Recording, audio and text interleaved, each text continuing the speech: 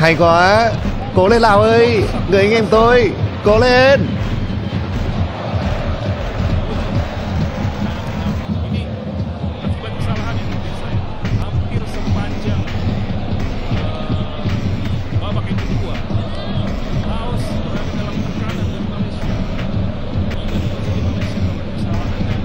Đây sẽ là cơ hội để cho U19 Lào có được bàn thắng vừa lên dẫn trước trước U19 Malaysia.